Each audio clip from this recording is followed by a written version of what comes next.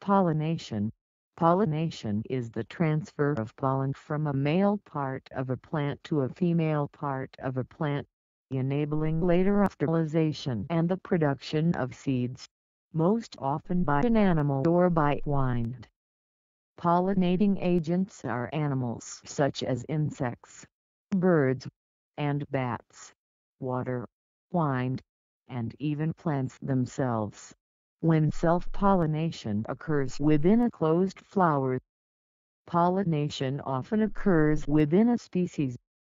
When pollination occurs between species it can produce hybrid offspring in nature and in plant breeding work. In angiosperms, after the pollen grain has landed on the stigma, it develops a pollen tube which grows down the style until it reaches an ovary. Sperm cells from the pollen grain then move along the pollen tube, enter an ovum cell through the micropyle and fertilize it, resulting in the production of a seed. A successful angiosperm pollen grain gametophyte containing the male gametes is transported to the stigma, where it germinates and its pollen tube grows down the style to the ovary. Its two gametes travel down the tube to where the gametophyte S containing the female gametes are held within the carpel. One nucleus fuses with the polar bodies to produce the endosperm tissues, and the other with the ovule to produce the embryo hence the term double fertilization. In gymnosperms, the ovule is not contained in a carpel but exposed on the surface of a dedicated support organ, such as the scale of a cone, so that the penetration of carpel tissue is unnecessary.